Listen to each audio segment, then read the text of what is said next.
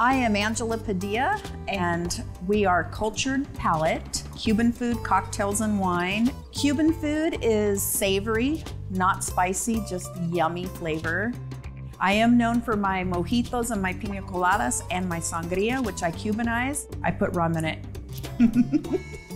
I love Grants Pass. We moved here 22 years ago, and to me, it is like a permanent vacation. I love being able to share something new with Grants Pass as far as the food and the culture of Cuban food.